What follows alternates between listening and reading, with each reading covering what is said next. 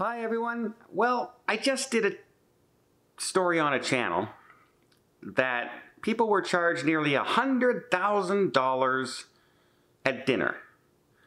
And um, of course, it was a mistake, an ID number was entered. But I have a story about a charge that people had to pay that wasn't a mistake.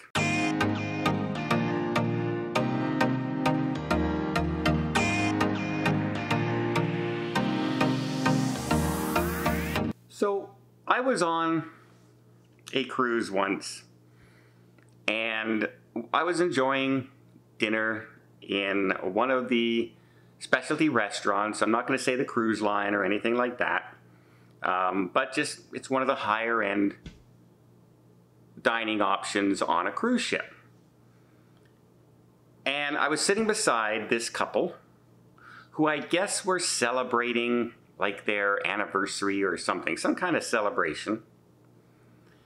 And they, uh, the wine guy comes over, um, the sommelier, and he, you know, shows them a bunch of wines and he, he looks at the menu and everything. Now, on this particular menu, it didn't have prices beside the wine it just had, you know, little dollar signs.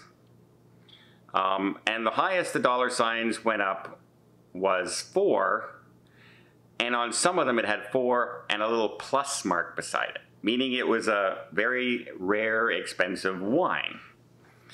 Well, I guess they were celebrating their anniversary and that, and uh, you know they they wanted to have a really nice glass of wine. It's a very very special occasion, and they ordered this bottle of wine. And I, I heard the sommelier say, um, Are you sure, sir? Are you sure that's the one you want? And he goes, Yes, absolutely. That sounds great. And the sommelier went away. And they brought the wine, they enjoyed their dinner and everything like that. And the the wife steps up to go to the powder room to freshen up after dinner, and the bill comes and I, I remember clearly sitting there. Um, for some reason, I was looking over in that direction. And the look on the guy's face just like was in shock. He couldn't believe what he was reading.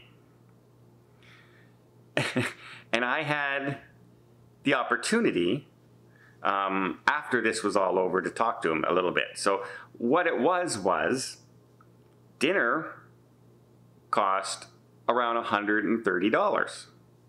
Not unusual for two people in a specialty restaurant in some restaurants, not, not unusual at all. But the wine he had chose was $8,900. $8,900. And he called the sommelier over and he asked and said, Is this a mistake? Is it supposed to be $89? And he goes, No, sir, that, that's the price of that wine. And the guy didn't make a fuss or anything like that. And I remember when his wife sat down at the table, I could hear him say, We're in trouble. Now, I talked to him like after the dinner and everything, and he was going to go down to customer service and try and straighten this out.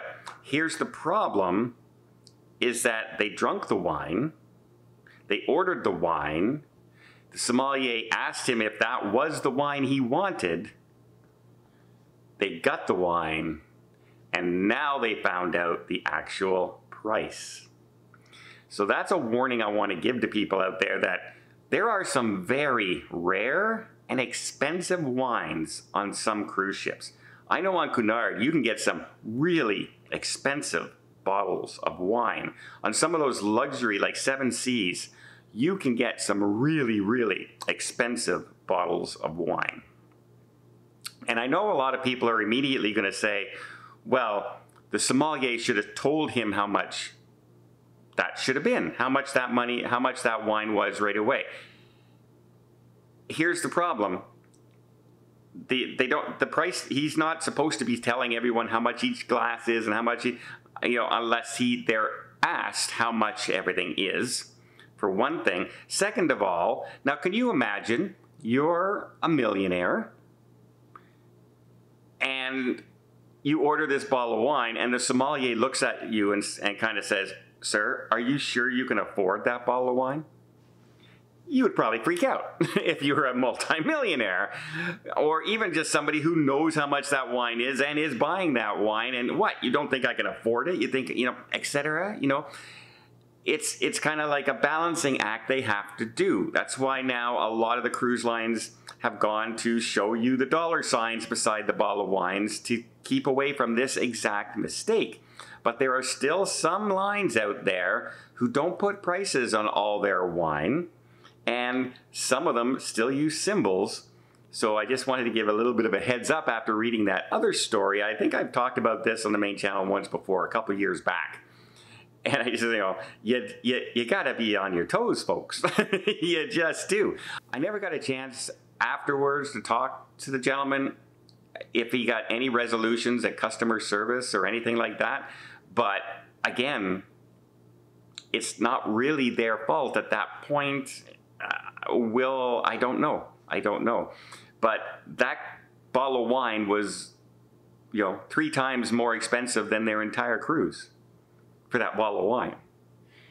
Now, he did jokingly say afterwards to me that it was a darn good bottle of wine. but I don't know if it was $8,900 bottle of good wine.